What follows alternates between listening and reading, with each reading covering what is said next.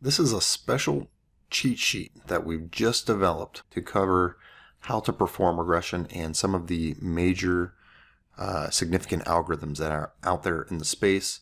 Um, it's aimed at if you're trying to learn how to do uh, machine learning and you want to get up to speed very quickly. This contains a summary of all of the key information that you'll need to learn. So um, here's how it works. First, you can see here that it's organized into a few different sections. You have a main section here that contains a summary, some key terminology, and some pictures of uh, examples of, of how um, different algorithms are working. Then you have over here for the various programming languages key links to various um, algorithms and packages and frameworks that are out there to help you uh, when you're doing the, the data science. So when you actually want to implement it, these are um, the links to the packages that you'll want to go to.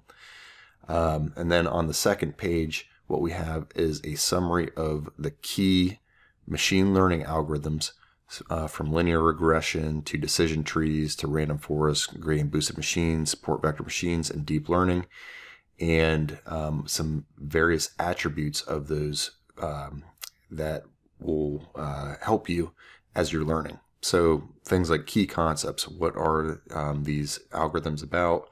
Is feature range standardization important to these algorithms? And that is something that can affect the performance. Um, are the results interpretable? Which for business, um, that is probably the most important question to um, to be able to to show people, you know, what the um, machine learning algorithm is saying and how uh, businesses can then change what they're doing in order to be able to uh, further to improve the performance and uh, generate business results. And then uh, key parameters. So these a lot of these algorithms uh, have what's called hyperparameters and these are some of the key parameters here. So um, th- that's basically how this is organized. Um, i'll just dive into a few details here. Learn more at business science university